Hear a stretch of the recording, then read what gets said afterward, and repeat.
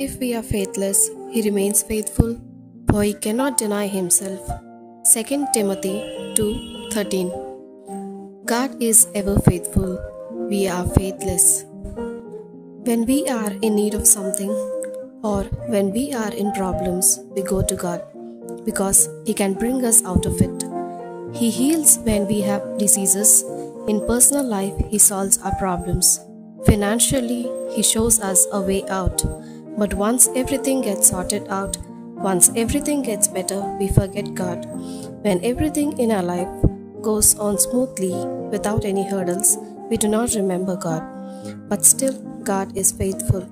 Even if we remember or forget Him, He is still with us, protecting us, loving us, and caring for us because He cannot do anything that is against His nature. So let us grow in the Spirit to be faithful to Him. God bless you.